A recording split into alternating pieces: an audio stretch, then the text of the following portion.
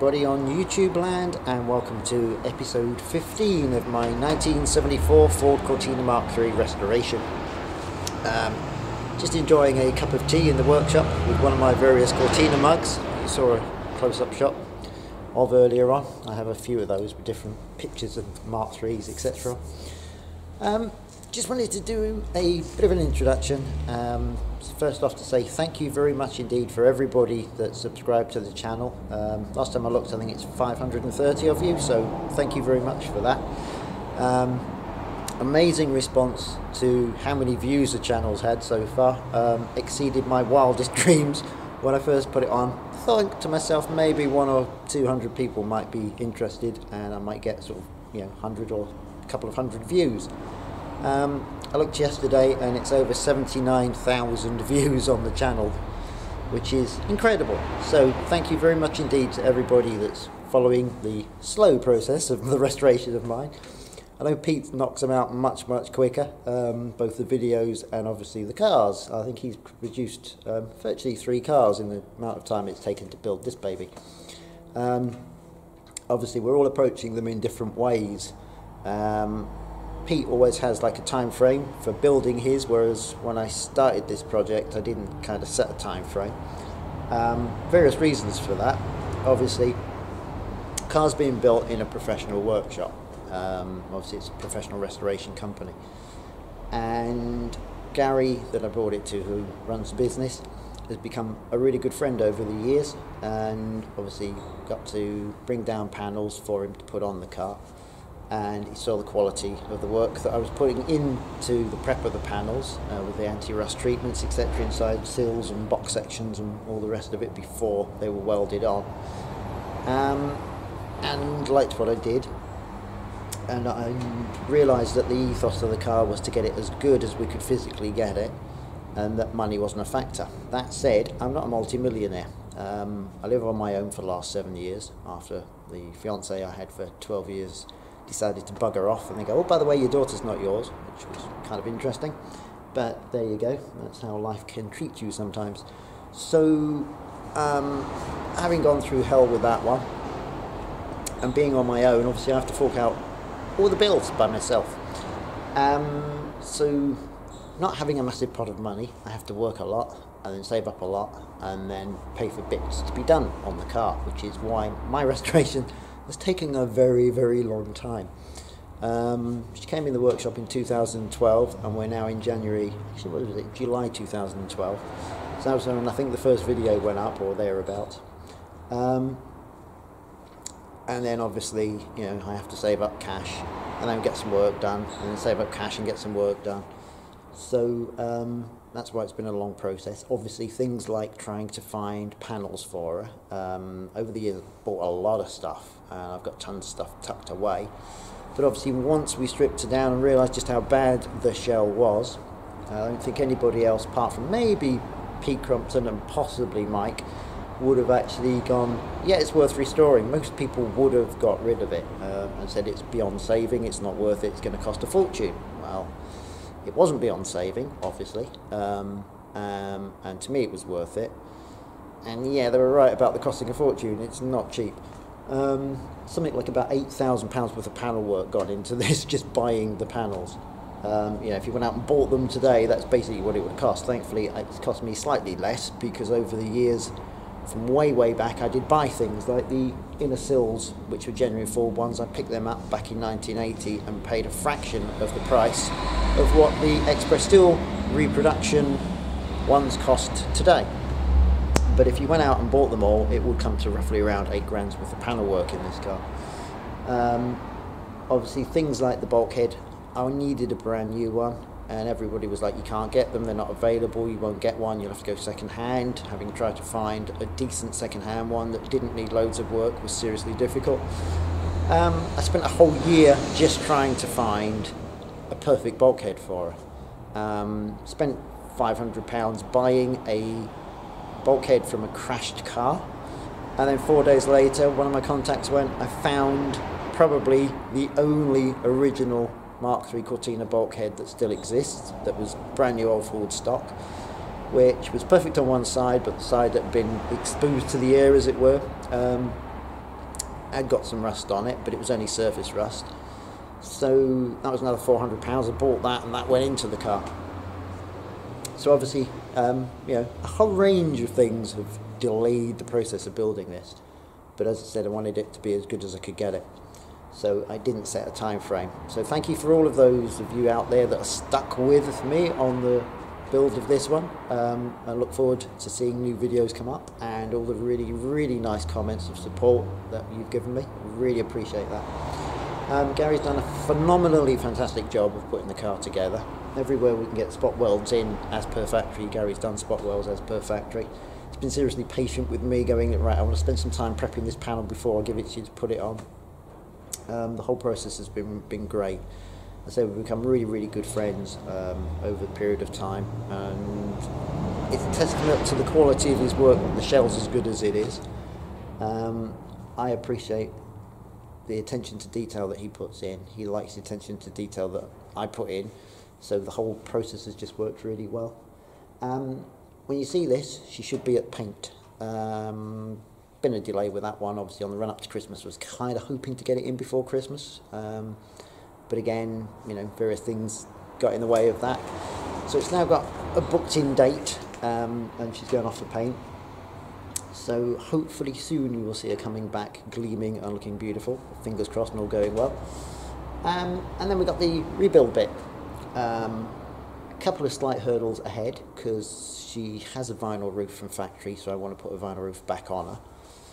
But obviously, I kind of I'm trying to get it as close to production line finish as possible. And all the aftermarket vinyl roofs have got those annoying, which to me is annoying, most people are okay with it, but it bugs me, that the, the aftermarket vinyl roof seams are quite wide and obviously stick up further than the original factory ones, which were like a heat sealed process. So um, that's an ongoing thing at the moment, trying to find a company out there that does heat sealing of vinyl.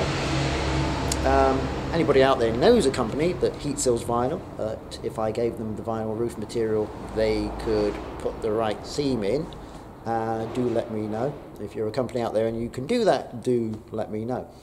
Um, not bothered on cost, it needs to be right. And a couple of other little things that um, still waiting to kind of track down to get 100% correct for it. But um, yeah, when it comes back from paint, it'd be great. It'd be nice to see a gleaming, shiny, looking right, and then the fun process of starting to put it all back together again. Um, with all the brand new bits and all the refurbed bits that I've spent hours and hours and hours on cleaning down and stripping right back and then refinishing so that they look exactly as they should look um, and all the lots of little tiny bits and pieces, little clips and uh, various other items that I bought way back in the day when you could just walk into any Ford dealership and go, I need a Mark III Cortina one of these, and they just go to their parts department and give it to you that have been wrapped up and tucked away.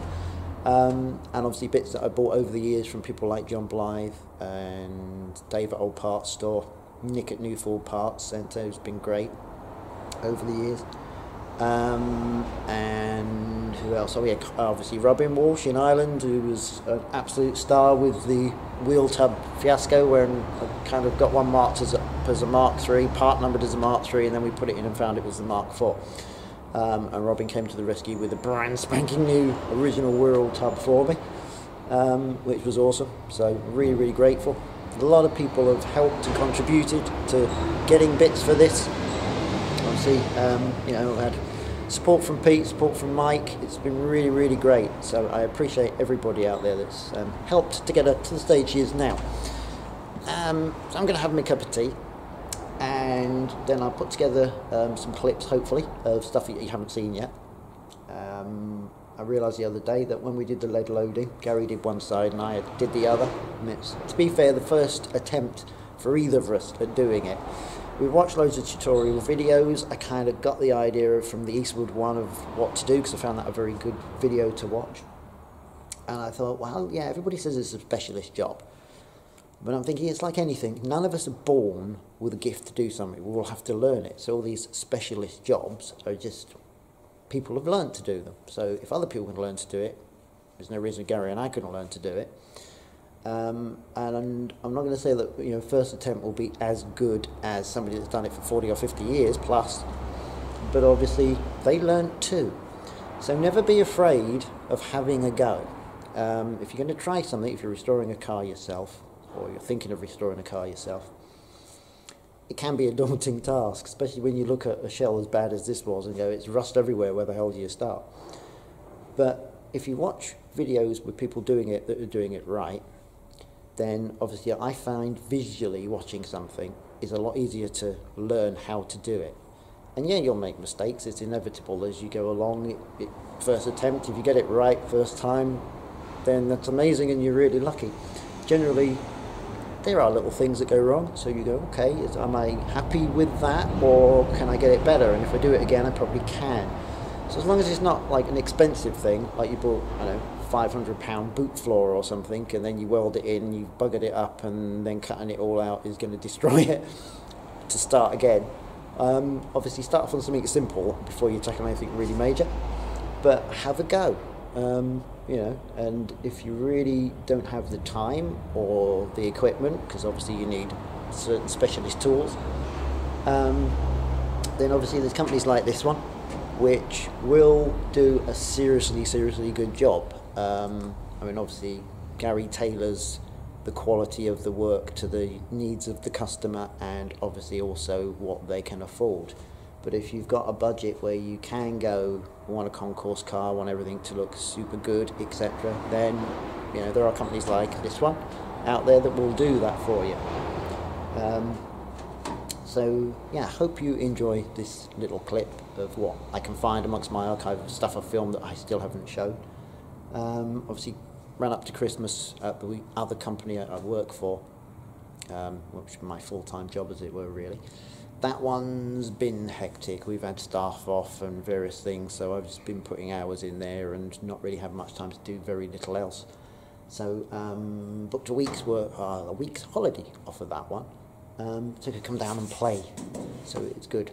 So um, I say, thank you for your support. Thank you for watching this little boring intro of me kind of explaining a bit. Um, but I just wanted to sort of let people know why my videos were coming out a bit slower. Actually, to be fair, a lot slower than uh, Pete's does. Pete obviously puts in a lot of time, effort um, into managing to do the car and do the video editing and does a really good job of it all. Um, and for me, it's just time factor of being able to do that and mainly the money factor of being able to have the cash to do the build. Um, so yeah, hope you enjoy the video. Thank you.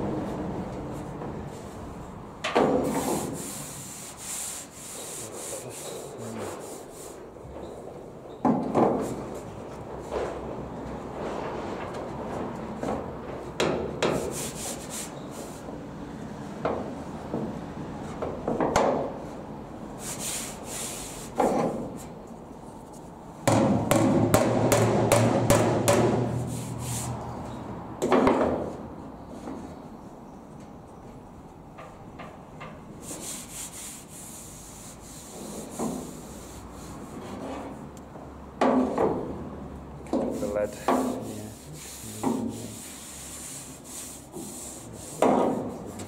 better go to a different hammer. Mm. Yeah, that little dip, dip in there and a on the rounded bit there.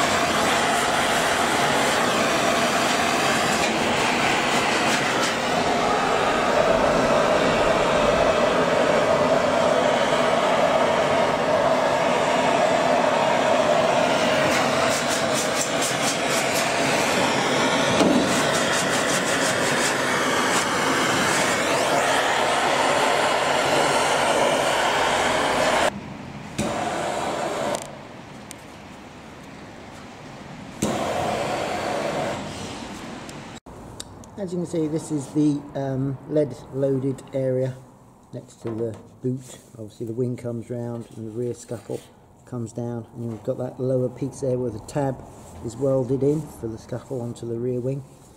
So it's now been lead loaded and filled in with the lead everywhere and smoothed down. Um, obviously, still got a little bit of dressing to do on it, but it's a lot, lot smoother. Um, all nice and even, flowed in well. So that was the first attempt at doing uh, lead loading on the Cortina. It's come up really, really good. Gary did this side, I did the other side up here, which has now got some uh, primer on it. As you can see, it's almost invisible. There's a little tiny sort of shallow bit there, but obviously wings get rubbed down, um, body shop sort of skimming any little imperfections here and there. So um, that was my bit, which obviously I need to get in here and clean out that bit and clean it up. But uh, up here as well, we've done the where that goes on. Obviously got straps on it at the moment because we've got the door secured because she's on a side. As you can see, I've got it on the chassis tilter. So rolled over. Um, and again, where the wing joins the roof, we'll put the lead in on there. So that's all been done. Seems funny seeing her on her side. First time I've seen her on a chassis tilter. So, so on that side. So basically the nice grey, perfectly rust-free doors started off in the condition that this one's in. It's a brand new, genuine Ford door, old stock panel. Um, as you can see, there is just very, very slight surface rust underneath the original Ford primer because obviously they're very old doors. Um, over the years, they get little scuffs and scrapes and marks, and then moisture kind of gets to it, and you get little surfacey rusting bits. So they get media blasted. They start off at this sort of stage, and then they get the media blasting, um, acid treatment if it needed it, and obviously all this kind of staining of rusting that you can see on there is removed until it's all nice and clean and shiny. And then they end up like the grey one that you've either already seen or that you will see after this, depending on how I edit this together.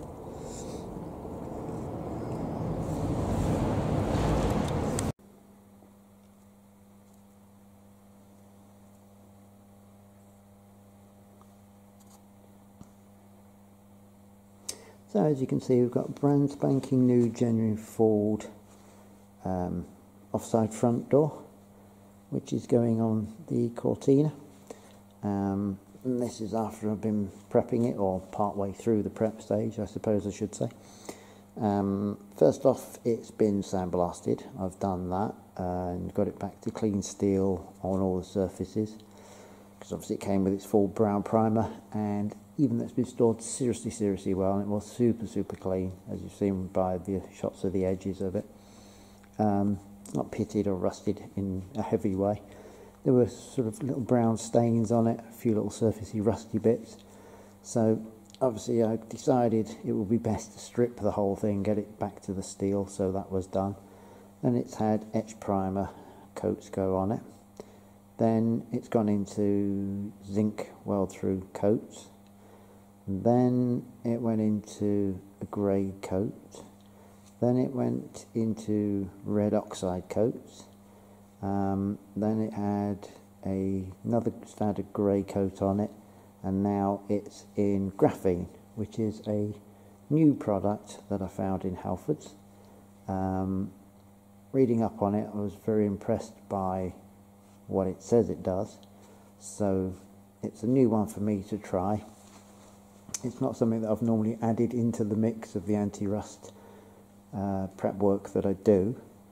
But whenever new products come out, I always think, well, we'll give it a go and see. So um, that's going to be a sandwiched layer in there between the rest of the coats that go on, and then obviously the body colour, and then the lacquer coats. Um, but on this one, obviously, I'll be getting it into body colour and um, making sure that I've got it in all the vulnerable areas where, when it goes to body shop, they might miss with a gun or might not be able to get into as easily. So, what my thought was with this one, obviously, if it's on the car and it's this way up, they won't be able to put the door on end and the other end, so you're limited with where the spray gun can get into.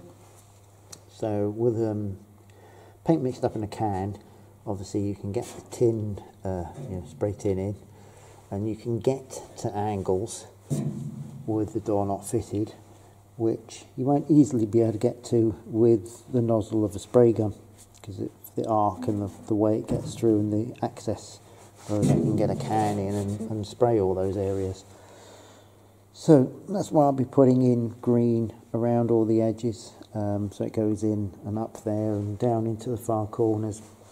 Turn the, the actual door itself, spray in one lot, let it set, let it dry, turn it another way, spray it in, turn it another way, spray it in, turn it upside down, spray it in under there.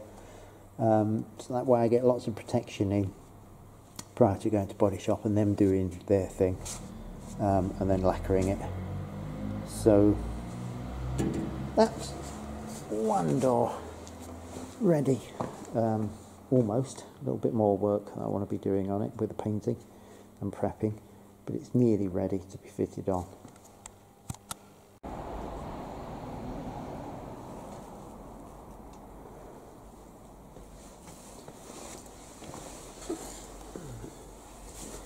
As you can see this is one of the doors off of the newly acquired uh, Mark III Cortina that I got off of eBay. Um, having taken it off you can see the amount of corrosion that's on the inside part of the door where the hinges are. Quite an impressive hole there and a hole there. Um, and then obviously when the water's got in the top it's had to find its way out so it's kind of just disintegrated at the bottom and around where the hinges are. Um, which is a real shame because the actual bit where the seam is all the way down, apart from when it gets to the bottom corner, is really, really good. And it's probably going to be too dark under there to see, but the bottom of the door is in really good condition. And then you come around to the edge where the lock is, as you can see the corner's really good, all of the bottom edge of the door is good, all down the side of the door is really, really good. So it's quite a shame and she's actually still got her original little foam buffer pads that Ford factory put on. Um, which rare to see on them these days. That's how original the car is. It's still retaining those little pads. And I very, very much doubt that there's many of the Mark IIIs out there that have got those on. see it's got little black uh, buttons in the doors frame, window frame part. Um, and then behind that we've got one of the doors that's been cleaned and prepped, it's been completely uh, media blasted by me. So got it back to really, really, really clean steel everywhere. Um, and then it's having its multi anti-rust coats going in. Um, and now it's in its grey primer on top of all of those. And as you can see, inside doors are absolutely spotless super smooth finish everywhere. I spent a lot of time on the prep work on this, getting it really, really good, so that when it goes off the paint, which by the time you see this, it will be at the paint shop at long last, um, then that'll be ready. Same all the way down the sides, really, really, really nice. Absolutely mint doors a lot of time and effort spent on those to get them right. Um, another spare one that I've got floating around. As you can see, the driver's door on the bottom edge is absolutely perfect. It's a brand spanking new door that's been stored really, really well over the years. So we've got no pitting, no corrosion, no repairs, no rusting. All down the edge again, it's really, really, really nice. Got a little bit of dust or dirt, I should say. that's gone on there while I pick it up off of my glove. I wonder what that was. Um, and I've got obviously again this end from uh, where are up in there when you come down from the A post frame. And where you've got your hinges all down in there is really, really nice as well.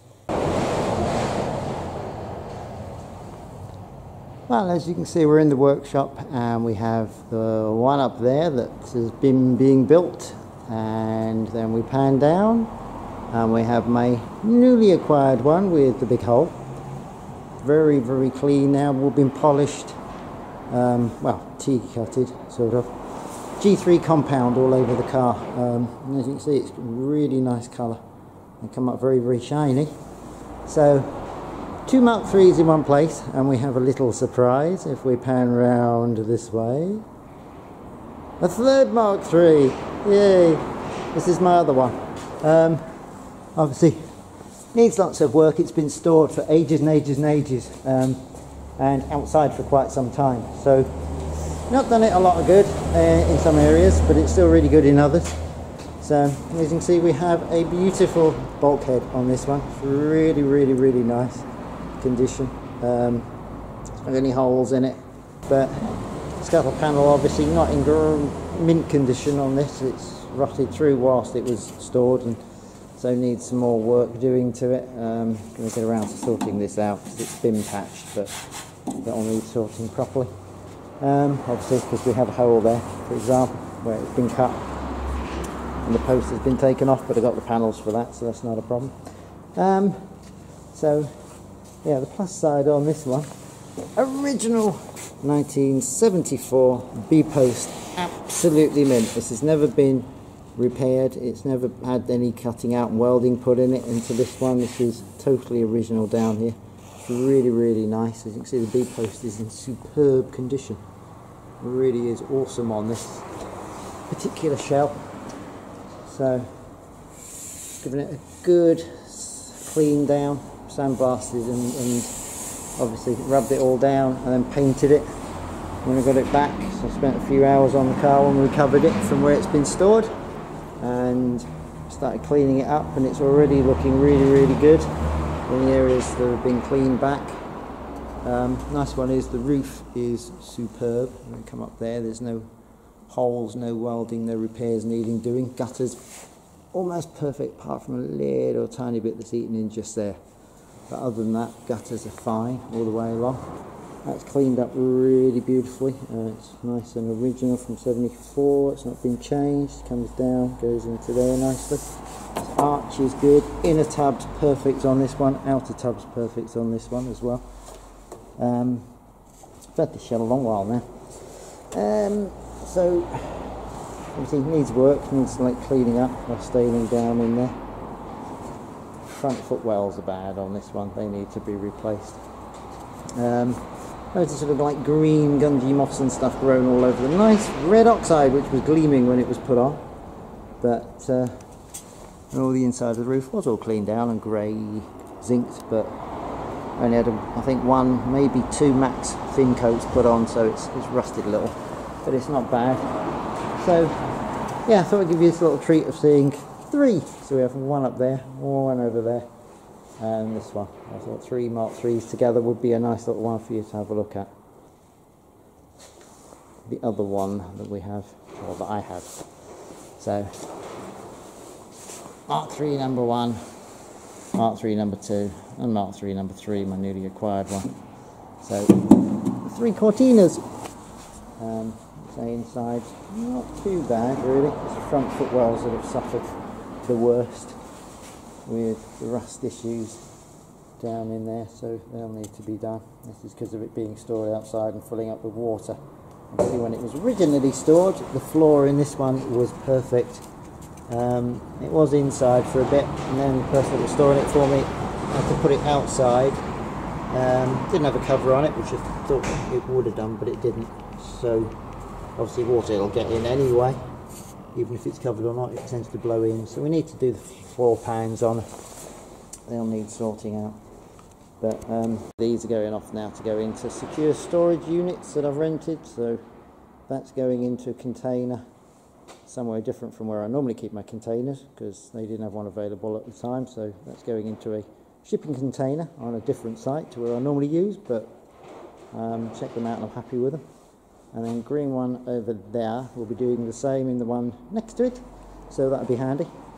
Um, so, and then we'll obviously we carry on working on that one up there.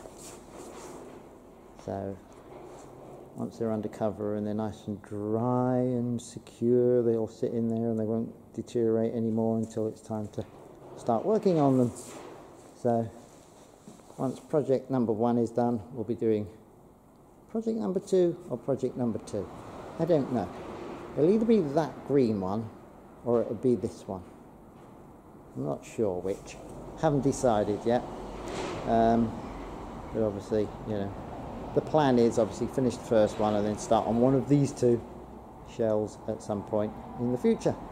So, hopefully, uh, you've enjoyed a quick look at this one and seeing the three of them together, which is nice. There and there and there.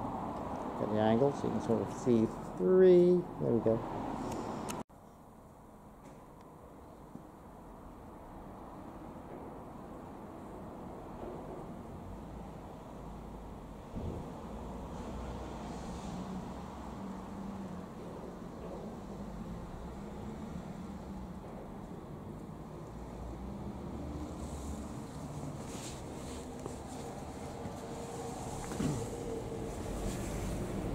She's still got her original Ford factory applied sill badge on here.